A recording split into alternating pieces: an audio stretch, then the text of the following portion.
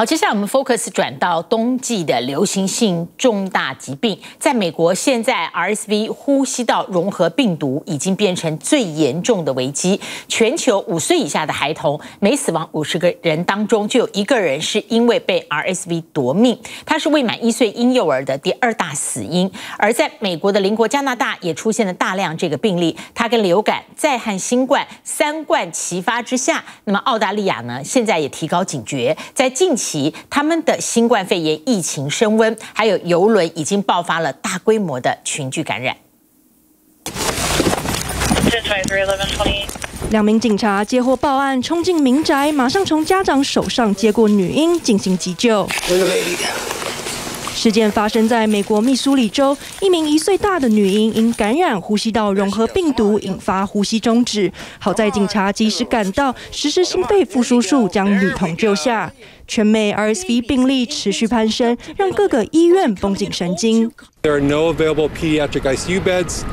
There are no available pediatric general care beds. 马州最大的医院体系在上周四宣布灾难状态，因为儿童 RSV 病例直线上升，已经让病床全满，并且扩大影响到其他病人。Wait times in our emergency departments overall for again both adult and pediatric patients are are nearing historic highs.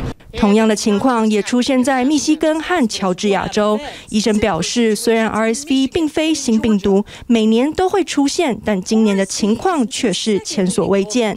The volume has been anywhere from 20 to 60 percent higher than a typical October. 根据最新数据，全球五岁以下孩童每五十位死亡中就有一位是死于 RSV 病毒，是婴幼儿一岁前的第二大死因。They'd have to crank her up just to like keep her breathing so she could sleep. That's terrifying. 丹佛一名五岁男童在参加完万圣节派对后就染上 RSV，还传染给自己不到两岁的妹妹。他的病情立刻急转直下，严重到需要住院。I mean, it was like less than 24 hours and she was in the hospital. So. Yeah. 女童在近期虽然出院了，但仍然需要戴着氧气罩。医生呼吁家长在 RSV 流行季节应格外注意。Uh, think twice before um, going to big events or those close confined um, spaces where you may be at risk of catching an infection from someone else. RSV 一般只会引起类似感冒的轻微症状，但对两岁以下婴幼儿、老人和免疫功能低下者来说，却可能引发重症。医生提醒，孩童感染 RSV 的征兆包括呼吸急促、呼吸时胸部凹陷、皮肤发蓝，以及嘴唇、舌头和牙龈出现变化。但除了 RSV，流感病例也正在增长，其中好发于四岁以下以及六十五岁以上长者。医生呼吁民众勤洗手，做好防护。Of course, influenza is rapidly rising to the south of us and probably will be increasing here in Massachusetts and New England pretty soon. 而在加拿大，多种流行病毒也正蠢蠢欲动。多伦多一间咖啡厅现在要求员工全部都要戴上口罩。Um, we just decided it's time for us to bring back masks. Uh, just to protect our business, protect the health of the staff and customers. 新冠、流感和 RSV 齐发，让加拿大儿童病患大增。渥太华一间儿童医院表示，已经开设第二个加护病房，并延后许多手术预约。There are more ill and requiring admissions to our intensive care unit, and that's why we need to create this extra capacity.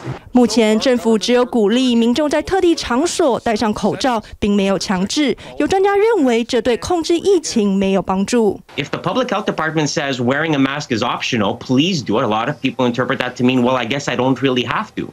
But if the public health department said no, this is mandatory, a lot of people would say, okay, I'll do it. 至于澳洲的游轮盛世公主号，则是爆发新冠肺炎大规模群聚感染，目前已知三千三百名乘客中有八百多人染疫。虽然大多为轻症或者无症状，但却让近期确诊数明显增加的澳洲当局不得不绷紧神经。TVB 新闻综合报道。